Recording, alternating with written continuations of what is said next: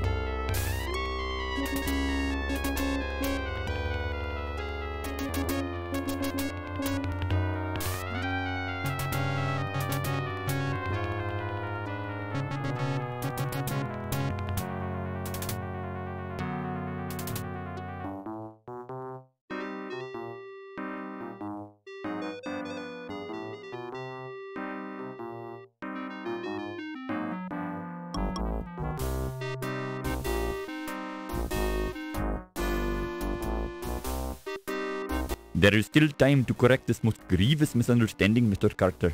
The dagger of Amon Ra must be returned to Egypt. Stay out of my way, or I'll thrash you within an inch of your life. Surely you can find a way to accommodate everybody's wishes. Who are you to tell me what I can do with my own property? Your property? What authority did you have? The authority of the Egyptian Antiquities Service. So if you don't like it, I suggest you waddle on back to Egypt and complain to your own government. Would it not be better to work this out diplomatically? This isn't a case for diplomacy. It's a case for your acceptance of the situation. It is not just my acceptance at issue, Mr. Carter. Frankly, some of our people are quite upset, moved to take drastic measures if need be. Are you threatening me, you malodorous little man? Mr. Carter, there are some who would rather fight back than allow their country to be stripped of its national treasures. Any fat savage who lays a finger on my exhibit or threatens me will find himself in deep trouble. Do I make myself clear? As clear as the water of the oasis, Mr. Carter.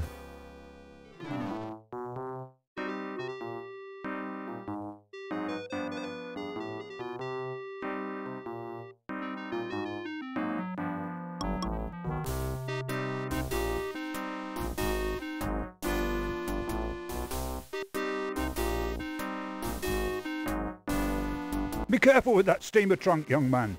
It's exceedingly valuable. It sure is heavy, Mr. Carrington. You got gold bars in here or something? The contents of my trunk are not your concern. Now be a good lad and take it to my taxi. The Countess is waiting.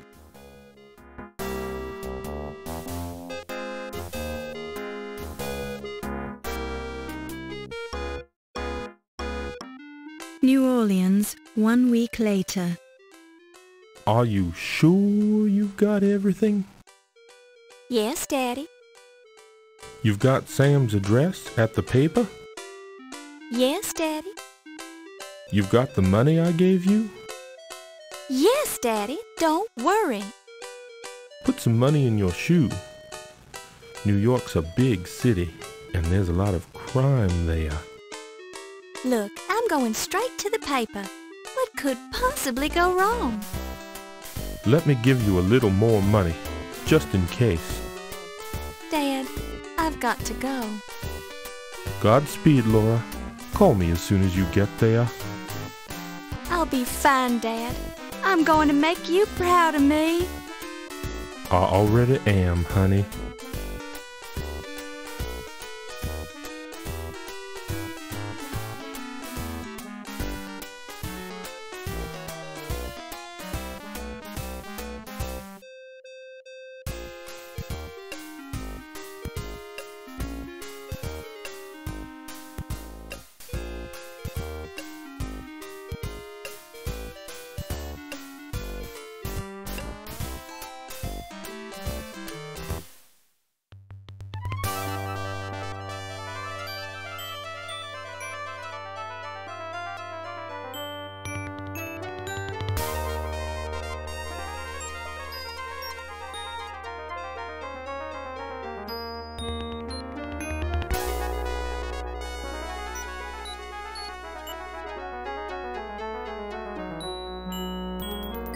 Excuse me, dear, are you a secretary?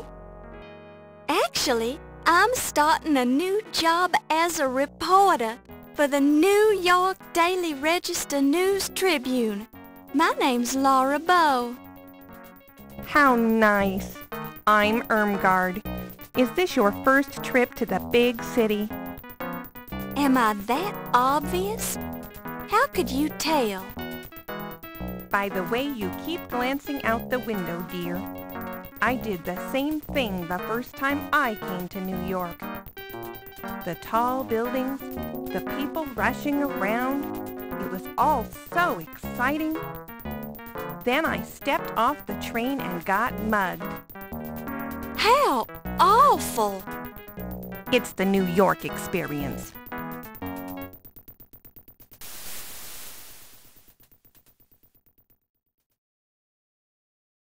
Thank you, dear. You're very kind.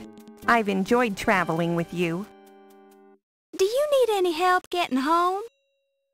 No, dear. I'll be fine, thank you. You're sure you'll be okay? Yes, thank you. Goodbye.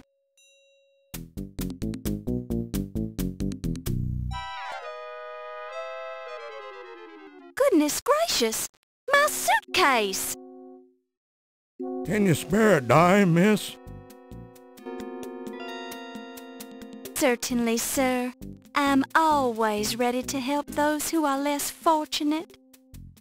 Well, that's just peachy. Give me all your money then. Excuse me? Hand it over. This seems very unfair. Welcome to New York, kid.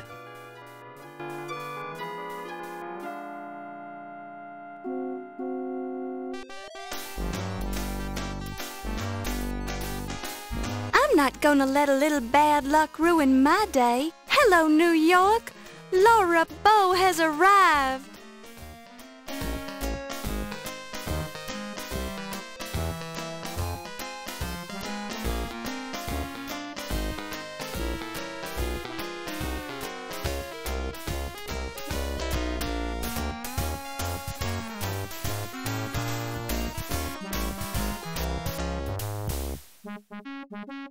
My destiny awaits.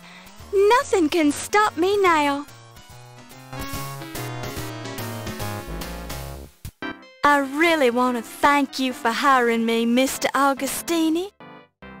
For hiring you? I don't even know who you are. I'm Laura Bow.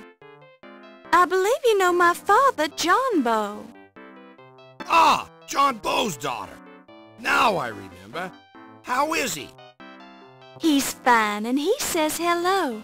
He wanted to know if you still had that newspaper clipping on your wall about the explosion of the Hindenburg building in Orleans.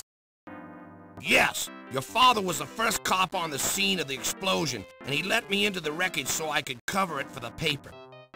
I rescued Rupert Hindenburg from his burning office, wrote about it, and made a name for myself as a reporter. I owe John a lot for that. Think you could handle being a reporter for a big city paper? I'll do my best, sir. We usually just hire men for this job.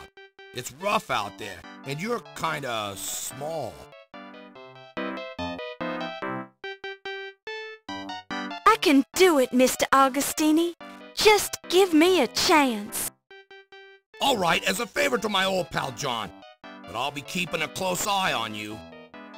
Thank you, sir. For your first assignment, I want you to write about a burglary. Some kind of uh, fancy knife was stolen from the Leyendecker Museum. I'll arrange for you to attend the fundraiser at 7 o'clock tonight for their new Egyptian exhibit. Everyone will be there. Tell them you're covering the society news so they won't clam up on you. You won't regret it, sir. I have a nose for news. Just keep your nose out of trouble. Here's your official notebook and your pencil. It already has Crodfoller's notes in it. Have the story ready by 3 tomorrow or you're out of a job.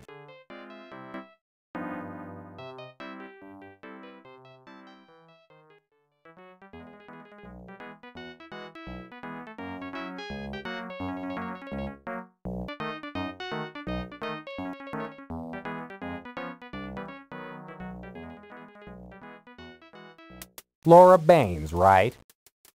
Laura Bowes, sir. And I believe you have the advantage. Crodfoller Rhubarb, ma'am, though you can call me Rube. So I suppose you've already met Sam. Yes, he's very colorful. Don't let him shake you. He's tough on the outside, but inside he's got a heart of stone. I'm sure he... Pardon me?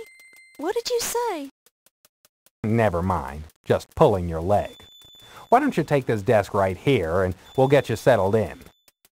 That's very kind of you. Mr. Augustini sort of left me on my own. I have to start on this story about a burglary at the Leyendecker Museum.